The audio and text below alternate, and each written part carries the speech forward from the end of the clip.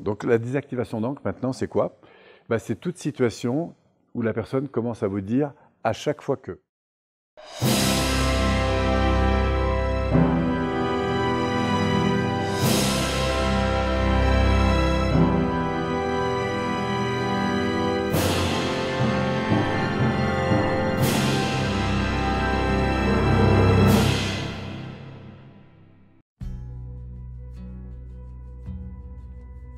Oui. En fait, il m'a fait revenir à ta situation de, l'amour heureux. Et là, en fait, j'ai l'impression que c'était plus moi. C'était une autre personne, en fait, que j'ai été Ouais. touchée par ça. Mais dans ce cas-là, tu vois, là, je vais, si elle me dit ça, je dis ok, super. Ferme les yeux et dis-moi ce que tu ressens de différent. Ah bah, Après, je m'en fous, moi, qu'elle me dise euh, je suis une autre personne. À la limite, c'est pas ça qui m'intéresse. Je l'accueille, mais ce qui m'intéresse, c'est qu'elle me dise qu'est-ce que tu ressens? Pourquoi est-ce qu'on est toujours dans cette. Voyez, quand elle parle, est-ce qu'elle me parle d'éléments extérieurs? Quand elle me parle d'éléments extérieurs, de quoi elle me parle? Est-ce qu'elle me parle bien des éléments qui, avant, déclenchaient ça? Et ensuite, vérifie qu'intérieurement, tu as une Y qui est différent. Et si oui, dis-moi en quoi. bah, c'est différent parce qu'il y avait un nœud. Ouais, tendu. Ça, c'était avant. Et qu'est-ce que tu ressens maintenant? là, Voilà, je sens de la légèreté. Voilà. Et vous voyez, j'insiste sur ce câblage-là. C'est pour ça que les mots, les prédicats, les machins me permettent de me dire, attends, de quoi elle est en train de me parler Est-ce qu'elle me parle de l'élément extérieur, de l'élément intérieur? Voilà. Et moi, je ne veux pas la lâcher tant qu'elle ne m'a pas revalidé que ce extérieur est bien lié à un intérieur différent. Et si oui, en quoi? Super. Ça va? Pour moi, il a insisté sur le fait qu'il ne ressentait rien. Oui.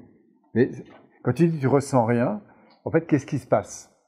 Donc la réponse de Pierre, c'était je ressens rien. En fait, quand il dit il ressent rien, dans ce cas-là, tu lui dis inspire, voilà, ferme les yeux, inspire, souris, et dis-moi ce qui est différent à l'intérieur. Voilà. Et je ne lâche pas tant qu'il ne m'a pas mis un mot. Qu'est-ce que tu ressens de différent, Pierre? Voilà. Un truc qui est un peu comme dans la Watt. Voilà. Et si j'insiste, je lui fais fermer les yeux, je dis tiens, inspire, ressens ça vraiment, tu vois. Et en quoi c'est bon en fait? Et puis boum, boum, boum, je, je renforce en fait, tu vois.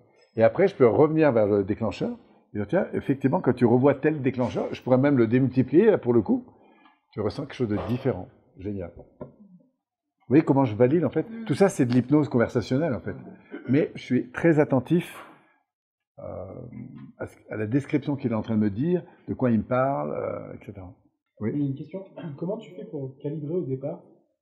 Euh, si c'est bien la dissociation que je peux faire, si c'est bien du voyage par équipe, comment tu fais pour... euh, Ah, pour savoir sur quoi je vais partir en termes de technique. Voilà, quand tu dis pas trop, euh, faut pas que ce soit trop profond, mais c'est quoi, c'est quoi le, les talons enfin, c'est Ouais, c'est une bonne question ça. Euh, J'ai envie de dire que si tu as l'occasion de faire un base, un tech, un prat et de revenir, ce qui va se passer, c'est que tu vas revoir chaque élément en comparaison avec tous les autres outils.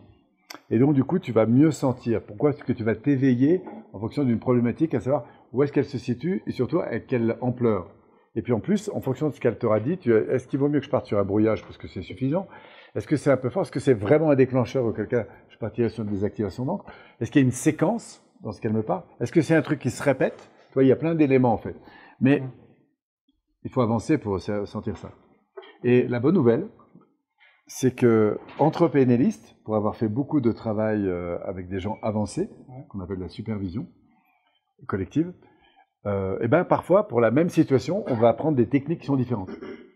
Pourquoi? Parce qu'on va sentir que c'est plutôt ça. C'est un peu comme si tu t'attaques à un moteur et tu dis est-ce que je l'attaque à la clé à molette ou la clé de 8 ou, tu vois? Mm. Hein, L'important, c'est à quoi j'ai affaire, où est-ce qu'on est, où est-ce qu'on va, quelle est l'intensité de ce qui se produit, qu'est-ce qui le provoque extérieurement, et puis après, qu'est-ce que je vais choisir de, de prendre. Et en fait, tu vas voir que ta boîte à outils, alors il y a quand même des indicateurs très précis, par exemple, quand je dis à chaque fois que. C'est vraiment un indicateur en général pour la désactivation d'encre.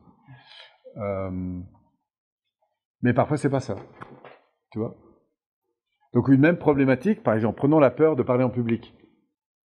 Ben, parfois, un simple travail sur les objectifs en cinq points, rattaché avec quelques petites ressources derrière, et bingo, ça suffit, tu vois. Si vraiment c'est plus fort, bah, je vais attaquer avec un- une dissociation simple, voire un cumul d'ancrage. S'il y a eu des antécédents un peu compliqués, je peux me dire, tiens, qu'il n'y a pas une désactivation d'encre à faire, tu vois Ou un brouillage, si c'est une séance qui est moins forte. Voilà.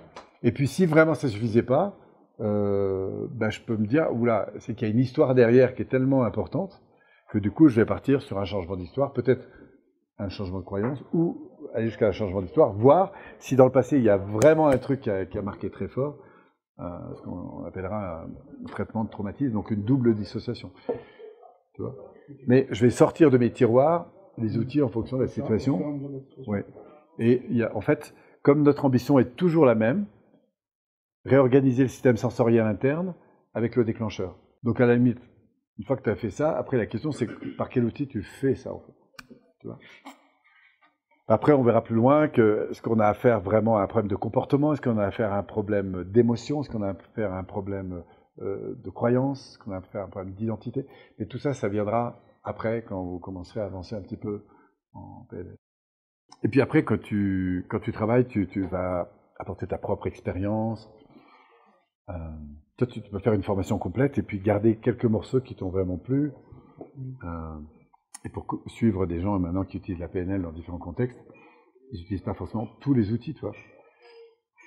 J'ai parfois l'impression que la PNL se diffuse en plein d'approches. Mais il y a quand même des protocoles intéressants qu'on qu apprend.